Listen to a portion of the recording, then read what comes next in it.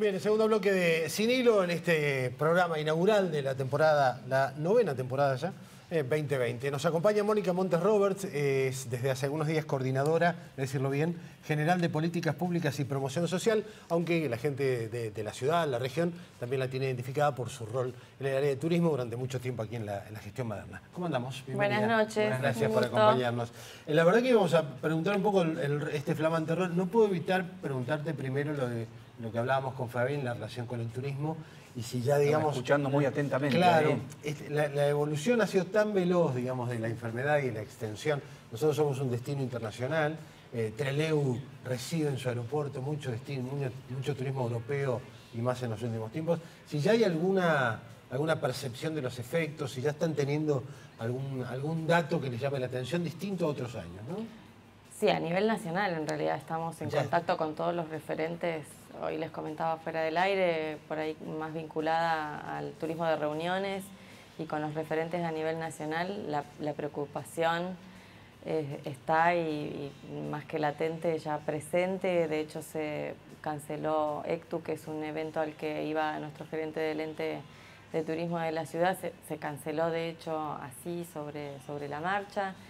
Eh, está la preocupación, de hecho hoy nos comentaba el presidente de AOCA, eh, la solicitud para decretar la, emergencia económica en el sector turístico, obviamente es la actividad más sensible, ¿no? O sea, eh, lo, pasamos ya con el Janta, como decía el ministro hoy también, y también fue eh, un tema a tratarlo, el impacto tremendo que hubo en la cordillera básicamente en ese momento con, el Janta y, y, lo que hubo que salir a casi asistir incluso con subsidios en aquel momento a al sector turístico que, es sensible precisamente a esto, ¿no? O sea, cuando se retrae alguna cuestión vinculada a la salud, impacta directamente en la actividad turística. Sí, empiezan las cancelaciones, las caídas de reservas. En este caso, todavía eso no lo estamos viviendo en, la hotelería de la ciudad, por lo menos.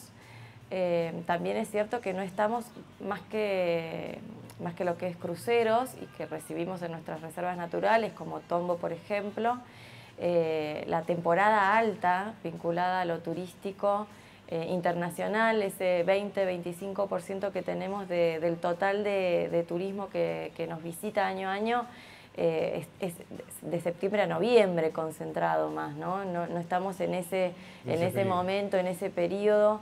en el que la zona recibe mayor afluencia de turismo extranjero. En el verano, nuestra temporada estival, es más turismo este, nacional y regional, si se quiere. Pero sí, la preocupación, obviamente, por ahora no estamos teniendo el impacto directo. Eh, sí la preocupación en lo que hace al turismo de reuniones, ¿no? Tenemos la presencia de la ciudad también ahora en abril en lo que es Expo, eh, la Expo Eventos, que es el, evento en Buenos Aires por naturaleza de turismo de reuniones y estamos viendo qué sucede. Bueno, hay una preocupación, obviamente, repercute directamente en la actividad. A diferencia del Janta, digo que era más localizado, eh, esto digo, es el problema del turismo, de la industria del turismo a nivel mundial, porque da la casualidad que son los países emisores, o corregime, Mónica, pero uno dice toda Europa y Estados Unidos son los países emisores de turistas y el resto del mundo. De, lo que hace el turismo internacional en nuestra comarca, Europa principalmente, ¿no? sí, sí, uno lo, piensa en ese ámbito, Europa también recibe, ¿no? Eh, miles de millones como Estados Unidos. Y encima empieza la, información. Hoy, hoy el ministro de Turismo de la provincia tuvo que salir a aclarar información que andaba dando vuelta que tenía que ver con los guardafaunas y el uso de barbijo, con, con las orcas, bueno, pero esta información en esta época de, psicosis de la gente se propaga, pero rapidísimo. Exacto, bueno, que rescato lo que decía el ministro también de Salud, ¿no? De, eh, que no es necesario que estemos los, los sanos, eh, nos sirve, el barbijo, exactamente, hay que pero me parece que tenía razón ¿no? en, hacer hincapié en estos en la costumbre que, que, no tenemos que perder nunca, que es la de la higiene personal, la de ventilar. Vienen ahora, además, meses más complicados con las gripes comunes en sí, ¿no? Bien, el que no podíamos obviar preguntarte, porque de alguna manera también vas a estar, seguís ligado al... Sigo ligado, sí, sí, es una de las áreas que está bajo mi órbita. Bueno, amplianos un poco eso, ¿qué es esta coordinación? Desafío enorme que me da eh, el placer y el compromiso, Adrián, nuestro, nuestro intendente, de asumir un rol mucho más este, comprometido, digamos, con la, con la gestión pública, la oportunidad de, después de muchos años de trabajar en el sector turístico, de estar ahora eh, eh, con, a cargo de otras áreas, entre ellas cultura, salud. Eh, ya estamos en contacto todos estos días con la doctora Cecilia Vera, que está a cargo del área de salud del municipio, quien está colaborando también con el sistema de salud provincial eh, en la contención respecto de estos casos sospechosos o la posibilidad de, contener más este, a la gente que está llegando de viaje de estas zonas. Está colaborando el área de salud del municipio de Trelew con, con el hospital y con el sistema de salud en, general y estamos brindando las charlas en diferentes lugares donde el personal en contacto tiene que saber qué, recaudos tomar y demás. Lo hicimos ya en los centros de informes de la ciudad, que la doctora estuvo conversando con todo el personal de turismo eh, y estamos proponiendo hacerlo ya entre mañana y pasado con todo el personal que tenemos en contacto en Punta Tombo, bueno, colaborando desde el área de salud en este sentido con esta contingencia, además del plan de trabajo que está proyectado para el año.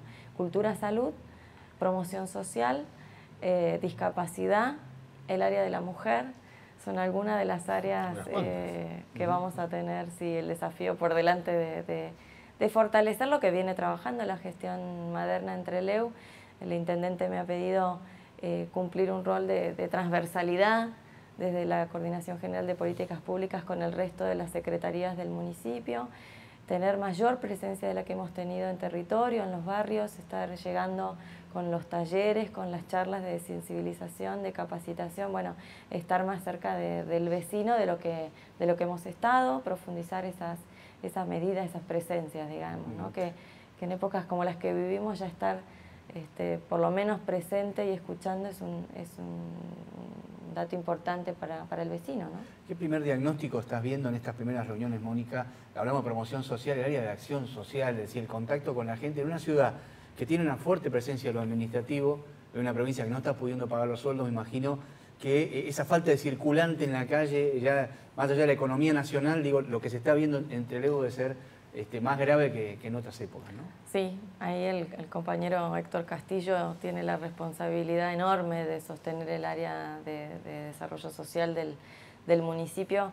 Creo que, si hay algo que, que hemos hecho bien desde la gestión de, Maderna es contener socialmente en esta terrible crisis que nos ha tocado atravesar en cuatro años en los que incluso no se conseguía ninguna colaboración del gobierno nacional para sostener algunas políticas. Creo que, como dice el intendente, gracias a, la responsabilidad tributaria impositiva de, de nuestros vecinos y a una buena administración desde la municipalidad se ha podido llevar adelante diferentes este, acciones desde las diferentes áreas del municipio, pero sobre todas las cosas contener desde lo social, ¿no? Eh, realmente hay gente que la está pasando muy mal, eh, a eso se suma la crisis que estamos viviendo a nivel provincial en una ciudad, como bien decís, donde la mayoría somos empleados públicos, eso empieza a repercutir, incluso, bueno, el otro día lo hablábamos también, con referentes del área hotelera y gastronómica de la ciudad, que también empieza a ver que el circulante es menos, que salimos menos a, comer afuera, a tomar un café, bueno, empieza como a complicarse todo, ¿no? Y, hay que estar preparados para, dar las respuestas, por lo menos a aquellos que más lo necesitan. El tema de la, inasistencia del gobierno nacional fue un tema constante también el año pasado en varias entrevistas que tuvimos aquí. En este primer periodo del gobierno nacional... Eh, se perciben cambios, hay modificaciones, eh, te tocó desde el área de turismo y ahora, digamos, ¿hay un cambio en lo concreto? Hay un cambio fundamental en por lo menos tener las puertas abiertas, ¿no? en tener la oportunidad de sentarnos con los referentes nacionales, comentarle la, situación de la ciudad, las necesidades y los proyectos que uno tiene a corto, mediano y largo plazo para Treleu. Eh, nos estamos encontrando, por supuesto, en los que me ha tocado acompañar al intendente, no solo en turismo, en ambiente. Eh, tuve el, gusto de estar también acompañándolo al intendente en la reunión con, el ministro Catopodis.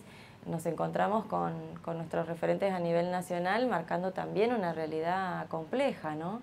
Pero, pero ya con el hecho de tener las puertas abiertas, de poder estar manifestando las necesidades que tengamos y priorizar eh, junto con, las diferentes áreas nacionales, eh, qué caminos y cuáles van a ser los proyectos más prioritarios, más urgentes, me parece que, ya hay un cambio enorme, ¿no? Y hay que estar preparados con toda la batería de, proyectos para estar eh, presentándolos a primera de cambio, como digo, ¿no? En eso creo que a pesar de, que de el gobierno de, Mauricio Macri ha sido tremendo. Tuvimos las puertas cerradas en un montón de cuestiones. Desde lo turístico creo que fuimos el único área, como decía Adrián el otro día, que ha logrado un financiamiento. Nosotros logramos dos pequeños financiamientos, pero que fueron casi dos millones de pesos para darle impronta y, nuevo equipamiento al centro astronómico en ese momento, pero más que eso no tuvimos.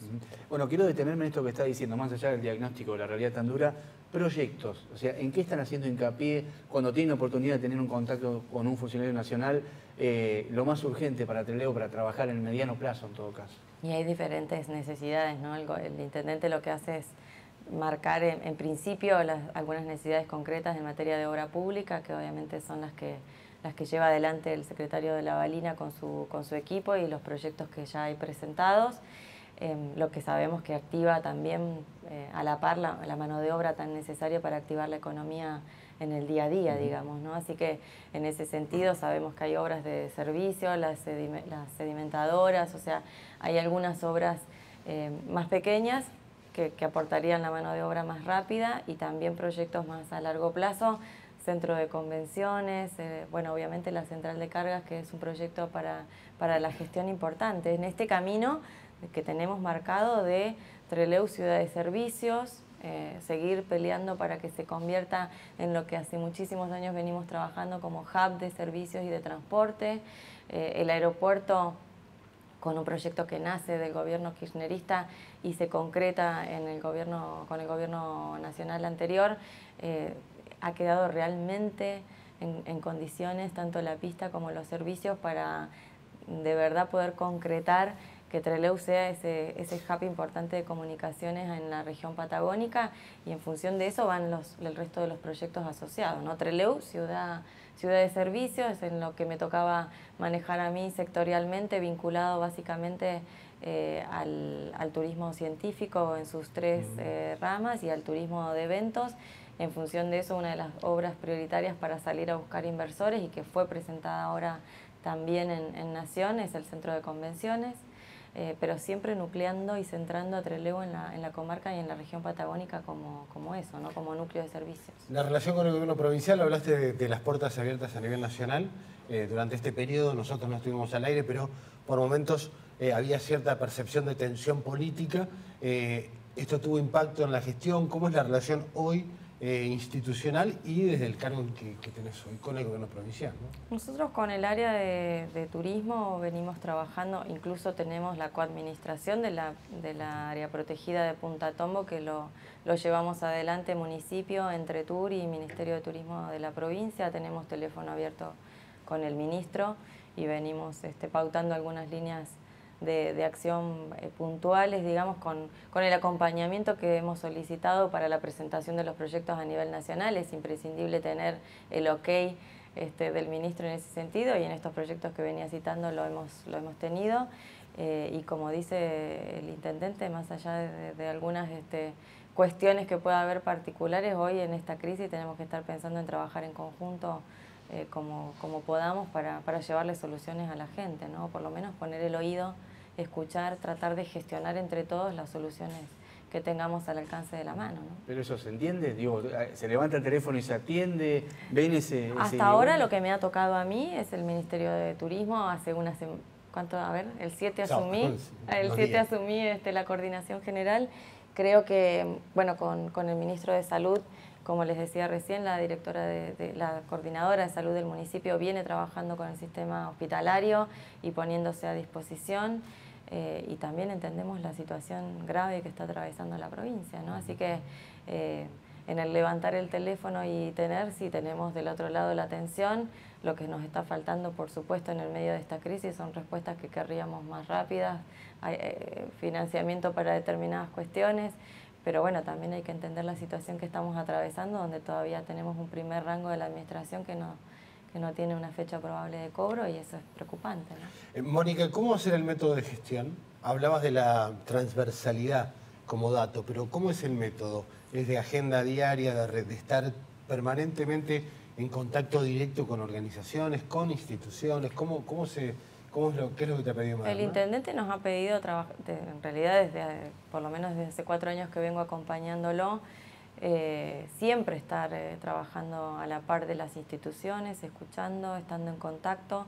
Es una impronta que me ha caracterizado, de hecho en lo personal me formé en una institución mixta como, como el Entretur en su momento, eh, que ya cumple 20 años y, de la, a, la, par y de la mano de instituciones como la Asociación Hotelera Gastronómica, como la Cámara de Comercio. Bueno, parte de la impronta que me ha pedido el intendente es eh, tener esta misma impronta con el resto de, áreas que venimos, este, que, estarán bajo mi órbita.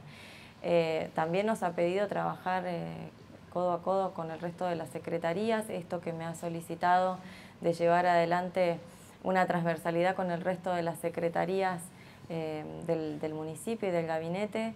Tenemos reuniones semanales con el resto de compañeros del gabinete para marcar eh, qué caminos vamos a seguir eh, en conjunto, en qué tenemos que tener las, mismas respuestas eh, y, e ir priorizando, que es algo que también nos ha pedido el secretario de Hacienda, que también asumió junto conmigo el, día sábado. Marcelo Olivera, que, tendrá también como asesora a Sergio Sardá, nos han pedido esto, ¿no? la optimización de los recursos eh, y la priorización de las necesidades más, más, urgentes y el resto habrá que salir a gestionarlo. ¿no? Eh, en ese sentido también tengo como una práctica hecha, ¿no? salir a, a, gestionar, pedir la colaboración de las diferentes instituciones. El otro día lo hablábamos con la cooperativa eléctrica, con su presidente, con Fabián Petrakowski, eh, también reunidos en una mesa con el sector hotelero y gastronómico, donde Fabián Fabricio les, les planteaba ya este, la respuesta a una reunión que habíamos tenido hace muy poquito, donde los hoteleros y gastronómicos planteaban la, necesidad de iluminar un corredor hotelero y más un circuito turístico, digamos, en la ciudad, vinculado a la mayor seguridad, y ya eh, les daba la respuesta de que antes de julio tendremos esas 26 cuadras eh, solicitadas para ese circuito y eso es lo que tenemos que ir trabajando. Lo hablábamos con Fabricio también, es lo que viene trabajando con el intendente eh, en, esta, en esta gestión que asumió la cooperativa también, ¿no? entre, entre ambas instituciones, tener un foco en común que es darle respuesta al vecino y en este caso las luminarias que no, lo que dan es un aporte tremendo a la seguridad. ¿no? Bien, cerramos la nota. Muchísimas gracias, gracias Mónica, chicos. éxitos en la gestión. Gracias, ¿eh? muchas Muy gracias. amable.